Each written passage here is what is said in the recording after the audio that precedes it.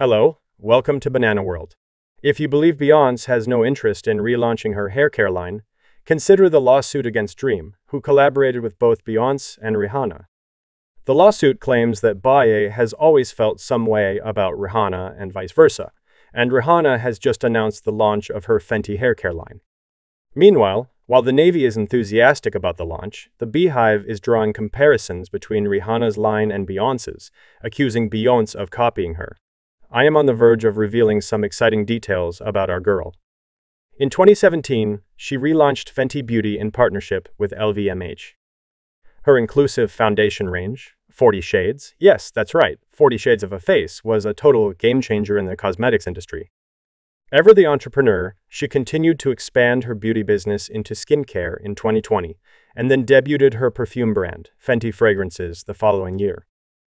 Of course, she also owns the lingerie company Savage X Fenty. And now we're talking about a whole new hair care line. Really, with all these ventures going on, when does she find time to sleep? The social media teaser video for this new line is just the beginning. Rihanna, clad in a trench coat and sporting a shaggy blonde pixie cut, poses the question, Are you ready? as she walks through a suburban neighborhood, showcasing the diverse hairstyles and textures of the residents. This is in line with the announcement that Fenty Hair will be offering a versatile range of products that cater to a variety of hair types, including tight curls, afros, big blow dries, and slicked back ponytails. Rihanna captioned the announcement, You know how much switching my hair up matches me. I've had almost every texture, color, and length, from weaves and braids to natural. Therefore, I'm introducing a versatile range of products that cater to every hair type, while also enhancing and repairing all hair types. It's time to play with our hairstyles and get stronger with each new look. So far, bye, everyone is loving Bana's hair care line. Some even joke about how they can't wait to dress like Fenty. On the other hand, some are expressing concern that, since R is actually involved in the production of each product, there won't be any authentic Bajan influence in the ingredients. This is especially true in the Caribbean, where people traditionally use plants for health and beauty rather than for food or clay, so fans are hoping that Bana's line will stay true to Bajan tradition. Yes, it's a brilliant business move on Rihanna's part, but the Beehive have accused her of plagiarizing their Queen Bey. Sure, it's no secret that Beyonce released her textured hair care line, Cécred, in February. It's based on keratin recovery technology. Beyonce's hair care line includes eight different products, including a foundation collection that caters to different hair textures and is based on family rituals. The business seems to be a family affair, and Beyonce is very involved with it.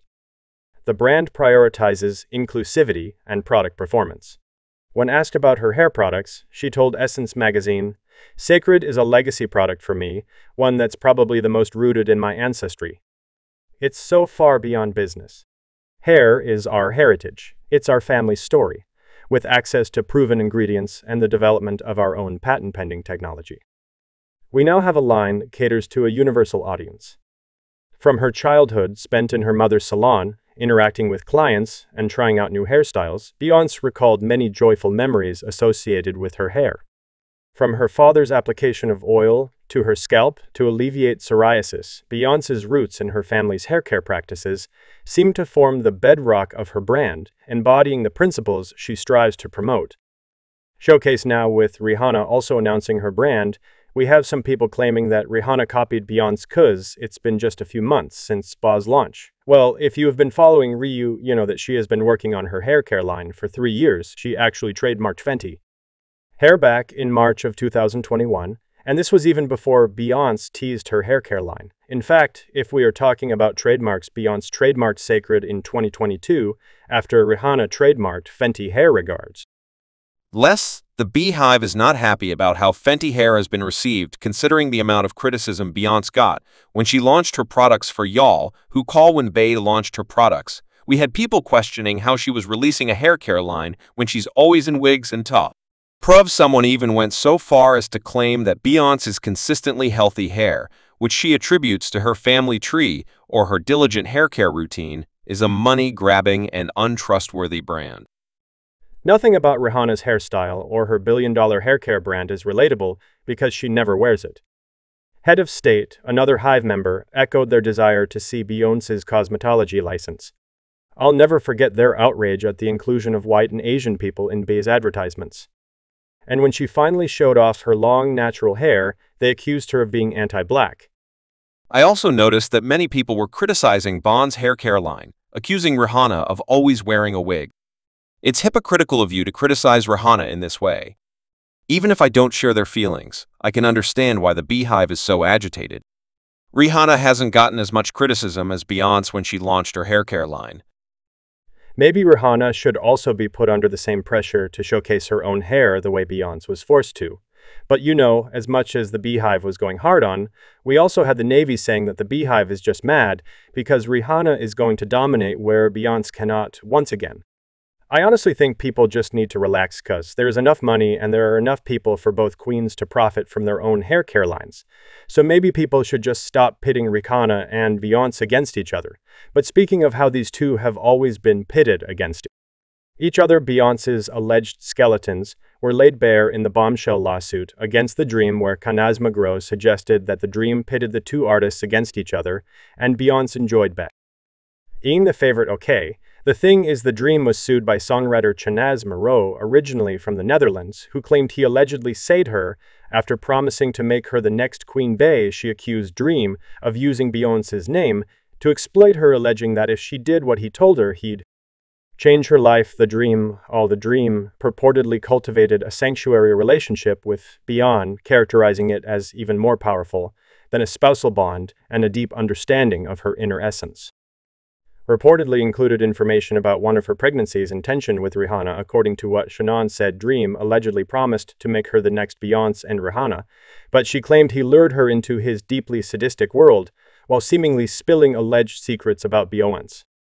After the aspiring artist met him in January 2015, she also said that Dream frequently pitted Rihanna against Beyonce, implying that Rihanna was forced to fight for his attention, and was frustrated that, he was giving it to Beyonce instead of to her apparently dream-told chans that Rihanna was begging him for good records, but because of his special sanctuary relationship with Beyonce, he saved them for Beyonce and he promised Chans that she could be part of that as well. Chans said that Dream told her that Rihanna was possessive over him and got angry when he worked with Beyonce, and in an apparent effort to reiterate how grateful she should be for the opportunity to work with him, Dream told her that Rihanna would frequently send him flowers and other gifts. Allegedly, Dream told Chans that she better be grateful that he was working with her because he was putting work on Beyonce's album on hold, and that if she wanted to reach the same level of success as Beyonce, she needed to become as close to or closer to him than Beyonce. He said that meant that she should ask for and follow his advice on everything, rely on him to be her main confidant, and limit her inner circle